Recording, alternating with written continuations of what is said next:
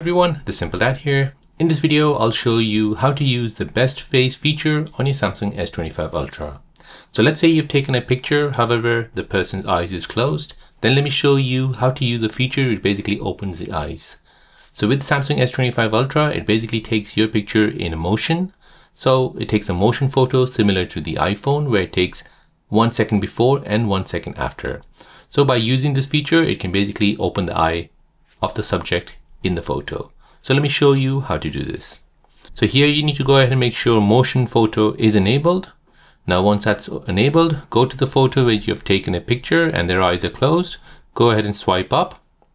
Now once you've swiped up, you'll see something called choose best face. Go ahead and tap on this. This will now go through the motion photos and will pick out the best face. So as you can see, it's giving me four faces at the bottom In the third phase, her eyes are open. So if you want that picture like that, go ahead and tap on save, and tap save.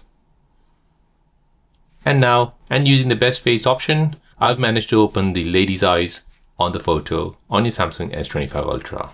So there you go guys, that is how to use the best face option on your Samsung S25 Ultra.